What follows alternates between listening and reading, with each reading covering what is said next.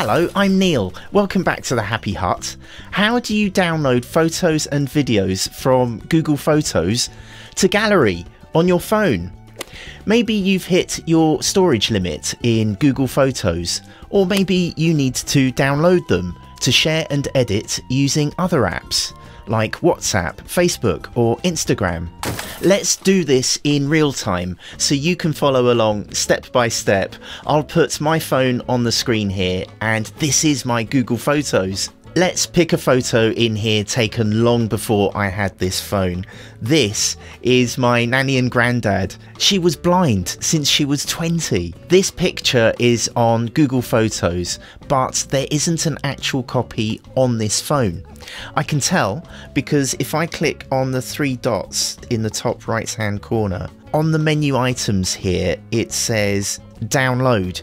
If this picture is on my phone, like this photo here, this button would say delete from device because it's on the phone. Going back to the grandparents picture, this photo doesn't appear in my phone's gallery. So let's download it now. I'll click on the download button. It says downloading. Download complete. And we can now go into gallery to see that it is now the latest picture.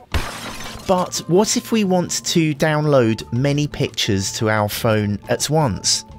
If I click on these pictures and select the cakes and the mug, there's no option down here on the bottom to download.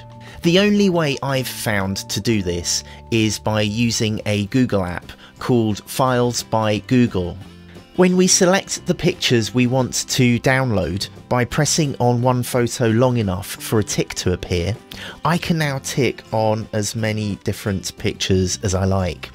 Then I'm going to click on this share button down here in the bottom left hand corner. And along here, if I scroll across, there's a button in the corner marked more.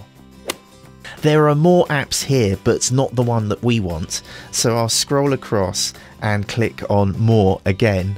These are all the other apps on my phone that can share. And right here is my Files by Google app. So let's click on this. It takes a few moments, and now those photos and videos are downloaded onto my phone. When I go into the Gallery app, there we have all our downloaded pictures and videos in gallery on my phone. if this video is helping, thank you for hitting the thumbs up or the subscribe button. It really helps me keep this channel going, so thank you. And right here are all my other Google Photos tips and tricks.